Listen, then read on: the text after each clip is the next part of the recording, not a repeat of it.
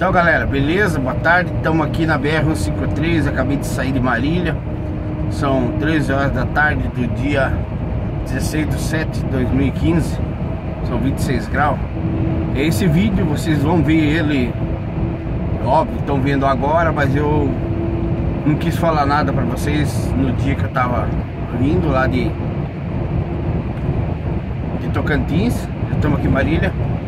É, como vocês viram no outro vídeo, estou com um problema grave no joelho, perdi a força no, no, no meu joelho. Já falei no outro vídeo que na hora que você estiver vendo esse vídeo aí, evidentemente eu já vou estar remediado, vou estar no médico, vou estar fazendo um tratamento e não quis falar nada para vocês para não ficar muito muito mimimi tá muito difícil, meu joelho não tem força para nada, não consigo erguer nem a perna, tô usando o piloto automático. E vou tentar, vou não, tem que tentar, né, chegar até em casa. Eu tô com um problema de degeneração nas articulações, tava muito nos ombros. E acredito eu passou pro joelho meu direito, já falei no outro vídeo. E já vem alguns meses aí, uns 6, 7 meses, vem essa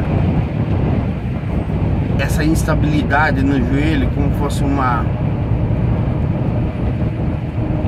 um destroncado, um mau jeito, não tem muita firmeza naquele joelho. E ontem lá no posto Pratão, quando estava indo para o restaurante, andando normal, deu uma, um estralo, uma virada e eu perdi totalmente o, o chão né, do joelho. Minha perna tá mole, meu joelho tá mole, não tenho firmeza. Só consigo pisar bem devagarinho, de um único jeito. Se eu mexer, eu caio. Já caí duas vezes hoje. Hoje de manhã fui tomar café e pisei meio de mau jeito, caí no chão com as mãos no chão. Na hora do almoço a mesma coisa. Ainda bem que consegui me segurar no caminhão. Tá sendo muito difícil. Não é uma, não tem dor, não é dor. É, é só uma dorzinha incômoda assim, mas bem leve. O que mais é a, a fraqueza da, da perna. Não tem firmeza. Dependendo da forma que eu viro ali o, o pé, ele dá uma fisgada muito forte. Como se estivesse entortando um dedo para trás assim. Então, dependendo da forma que eu viro o pé, é muito difícil. Fazendo esse vídeo durante a viagem, mas vou postar ele só quando tiver medicado, estiver lá em Curitiba, médico. Então,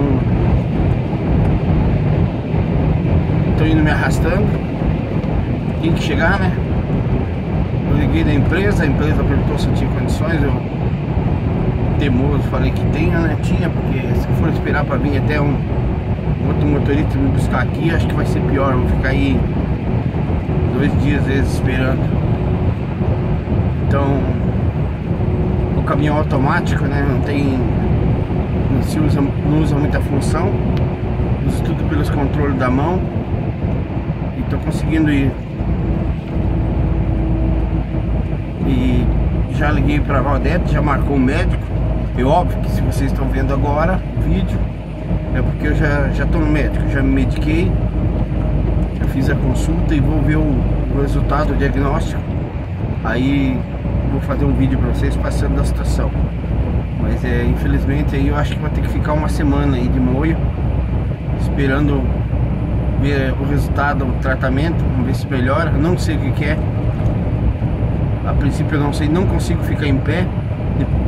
Assim, dependendo do movimento que eu faço, tô colocando o peso tudo na perna esquerda e a minha perna direita, o joelho direito ficou, como diz, ficou bobo. Não tem firmeza nenhuma. Consigo